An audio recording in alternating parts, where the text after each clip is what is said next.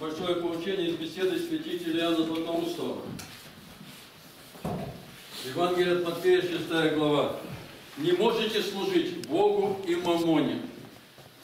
Помыслим и ужаснемся, что заставили мы сказать Христа, сравнить богатство с Богом. Если же и представить это ужасно, то не гораздо ли ужаснее на самом деле работать богатство и его самовластное владычество предпочитать страху Божию? Итак, что же скажет кто-нибудь, если уже кто-нибудь, уже ли не могло быть этого у древних? Нисколько. Как же Авраам и Иов угодили Богу? Спросишь ты. Не о богатых упоминай мне, но о тех, которые раболепствовали богатству. Иов был богат, но не служил мамоне, имел богатство и обладал им, был господином его, а не рабом. Он пользовался им, как управитель чужого имения, не только не похищая чужого, но и собственное отдавая неимущим. И что всего более, он не, услаждал тем, не услаждался тем, что имел у себя, как сам свидетельствовал об этом, говоря, «Радовался ли я, что богатство мое было велико?» Книга Иова, 31 глава. «Потому-то и когда лишился богатства, он не скорбел. Но ныне не таковы богатые, они, будучи несчастнее всякого пленника, платят дань мамоне, как некоему жестокому тирану. Любовь к богатству, овладев их сердцем, как бы некоторой крепостью, непрестанно дает им оттуда свои повеления, дышащие беззаконием, и ни один из них не противится этим повелениям. Итак, не мудрствуй излишне. Бог однажды и навсегда сказал – что служение Богу и Мамоне не может быть соединено вместе. А потому ты не говоришь, что может быть соединено.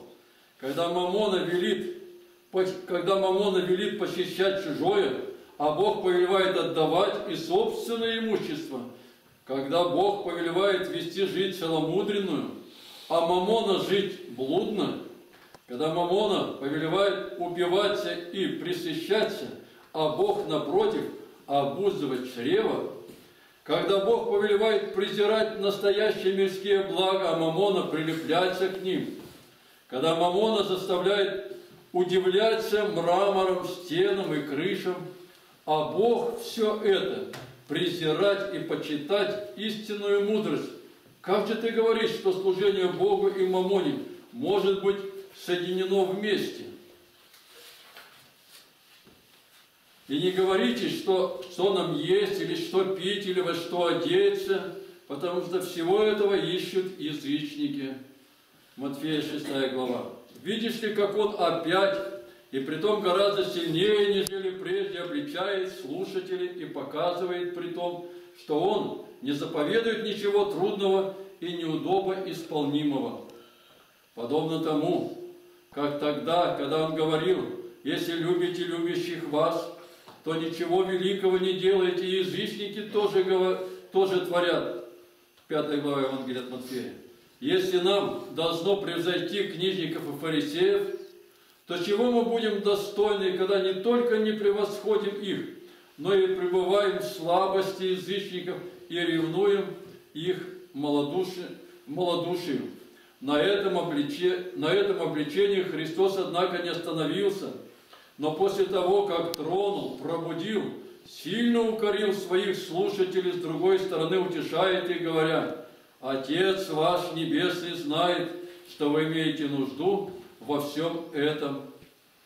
Не сказал «знает Бог», но знает Отец, чтобы таким образом возбудить в них большее упование.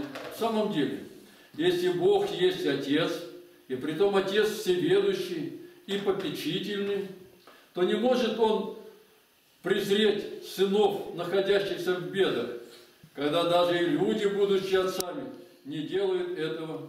Вместе тем Христос приводит и другое доказательство. Какое? Что вы имеете нужду во всем этом. Смысл этих слов его такой, излишнее ли это, чтобы Бог мог пренебрегать этим? Он даже и на он даже и излишним не пренебрегает, не пренебрегает, как, например, красотой и цветами, а тут необходимое. Таким образом, что тебя побуждает заботиться, то, по-моему, должно отвлекать тебя от такой заботливости. Если ты скажешь мне, потому должно заботиться о пище и одежде, что они нужны, то я напротив скажу, потому-то самому они необходимы, ты не должен заботиться. Если бы они были и излишни, то и тогда надлежало бы не отчаиваться, но с твердым упованием ожидать подаяния их. А раз они необходимы, то и сомневаться об этом не следует. Какой отец не, захо- не- не захочет доставить необходимого своим детям? Так и поэтому уже Бог непременно подает нужное. Аминь.